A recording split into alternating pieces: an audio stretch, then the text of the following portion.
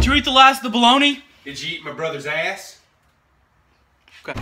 Who took my last cigarette? I don't know. Who stole Grandma's meds and sold them for Kid Rock tickets? Okay. Did you leak cops from the DVR? Did you give my uncle a reach around at my granddad's funeral? Okay. Did you eat all my Cheetos? Did you send pictures of your tits to my brother? Okay. God damn it! Hey! Hey!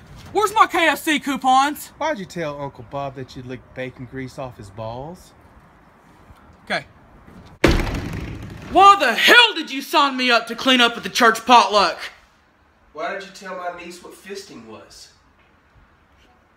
Got it. Damn it. Did you drink my last Dr. Pepper? Did you tell my boss you'd suck him dry at the work picnic? Okay.